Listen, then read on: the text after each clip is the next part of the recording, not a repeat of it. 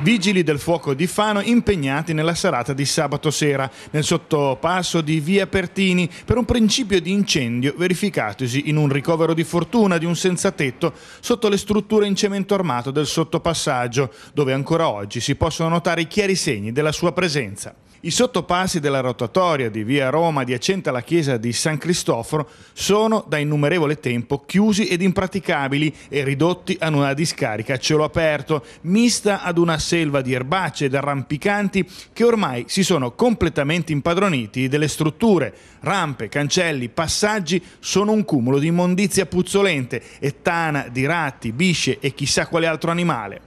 A questo aspetto al di sotto della sede stradale e quindi fuori dalla visuale di chi sfreccia in auto, ma ben presente a chi vi passa in bici o più sfortunatamente a piedi per recarsi al supermercato vicino, a questo si aggiunge la situazione di degrado e ammaloramento delle strutture in superficie, come parapetti arrugginiti o abbattuti e transenne di fortuna che impediscono l'accesso, ma che legate con fil di ferro non regalano certo uno spettacolo edificante considerando anche l'elevato flusso di auto di non fanesi che dall'apertura dell'interquartieri vi transitano ogni giorno, un altro dei poco edificanti biglietti da visita della città di Fano.